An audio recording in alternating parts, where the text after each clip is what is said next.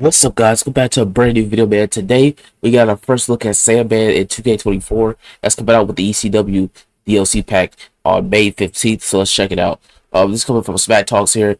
Here's the first look at ECW Legend of Sandman in 2K24. The Sandman is featured in the ECW pack, Punk Pack DLC, which is set to release on Wednesday, May 15th. Alright, so this is officially what Sandman's going to look like in WWE 2K24. So we got to take a look at it right here. Uh, Sandman looks dope, man. I ain't gonna lie, I like Sandman. Uh, with the kendo stick, you see his all black attire with Sandman on his t-shirt. All right, now if they're gonna be multiple attires, we don't know yet. This is the only screenshot they showed so far. Uh, it just came out like 44 minutes ago at the time of recording this video. So Sandman looks dope, man. I like Sandman. Uh, the first choice they showed off Sandman. He says here, I wonder if it would possibly enter uh, for them to get enter Sandman. This is going to be fun. Any news if they unused weapons are getting released? That could be true too.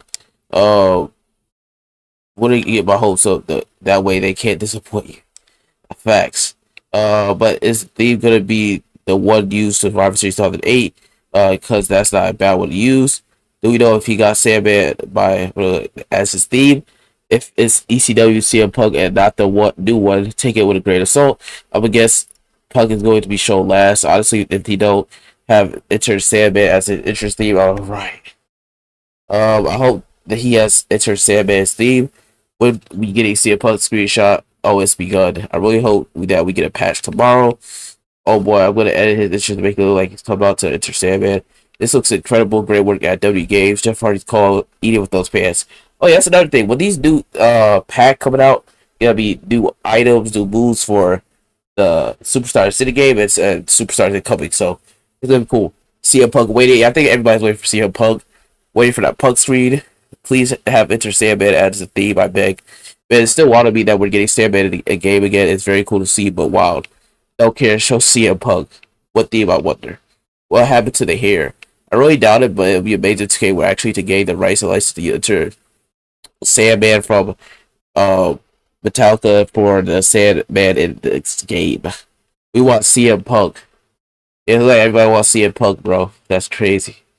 Oh boy, I'm gonna edit it to make it look like about to enter Sandman. Um, this is cool. Did 2K post this? He says, uh, he said no, but they retweeted it. All right, but uh, yeah, Sandman. First look at Sandman in WWE 2K24, man. Let me know your guys' thoughts and opinions on what he looks like in the comment down below. Um, there should be a patch coming out tomorrow. It, if it's not tomorrow, then it's gonna be some time this week. Just because the DLC comes out on the 15th, they usually drop a patch, and then it's gonna be another patch when the DLC drops. It's when they do that all the time. Especially they did that last year as well. So let me know your thoughts and opinions on Sandman at first look and how he looks in the game and stuff like that. Uh, but yeah, Sandman is coming out May 15th. Are you guys excited for Sandman? Are you guys waiting for the Dudley Boyz, Terry Funk, or CM Punk? Let me know in the comment section down below. But yeah, guys, Sandman right here. Um, thank you guys for watching this video. Make sure you guys drop a like on the video. Make sure you guys subscribe to the channel.